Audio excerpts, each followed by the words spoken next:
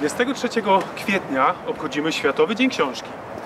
I w związku z tym, oczywiście, gramy w piłkę. Wyzwanie rzuciła nam reprezentacja pisarzy polskich. Musimy to wygrać, żeby sobie pisarze nie myśleli, że my tylko czytamy o tym, jak grają inni. A Was zapraszamy na trybuny. Musicie nas wesprzeć. Bądźcie naszym dodatkowym zawodnikiem.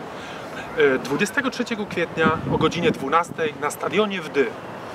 E, jeśli tylko pogoda pokrzyżowałaby nam plany i zaczęłoby padać, to zapraszamy o tej samej godzinie do hali widowiskowo-sportowej. Pamiętajcie, jeśli jest ładna pogoda na stadionie o 12, jeśli zaczyna padać, o tej samej godzinie w hali widowiskowo-sportowej. Z ciekawostek dla wszystkich zainteresowanych piłką, e, gościem specjalnym będzie Piotr Rejs, legendarny piłkarz Lecha Poznań i reprezentacji Polski, który skądinąd też e, wydał swoją książkę.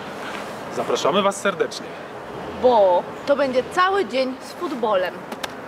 Właśnie. Kochani, o godzinie 16 zapraszamy Was tu do biblioteki na spotkanie z Andrzejem Szarmachem, legendarnym piłkarzem reprezentacji Kazimierza Górskiego, który poprowadzi Jacek Kurowski, który pochodzi ze Świecia.